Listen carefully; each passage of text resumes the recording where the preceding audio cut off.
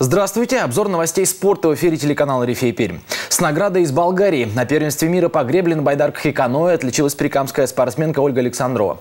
Она выступала в возрастной категории не старше 19 лет. Воспитанница Чайковского клуба «Мастер» заняла третье место на дистанции 500 метров в категории каноэ-одиночка. Кроме того, она стала пятой на такой же дистанции в каноэ-двойке и заняла седьмое место на дистанции 200 метров. Из стана гандбольного клуба «Пермские медведи» вновь есть новости. Основной состав команды готовится к новому сезону, но два человека временно отсутствуют по уважительной причине. Сборная страны, составленная из игроков не старше 19 лет, заинтересована в услугах воспитанника Пермской школы Дмитрия Калугина. Команда сейчас ведет подготовку к предстоящему чемпионату Европы. Турнир пройдет с 9 по 19 августа в Хорватии. Помимо Калугина в эту национальную команду отправился и Валентин Бузмаков. Наставник «Медведей» является в сборной помощником главного тренера.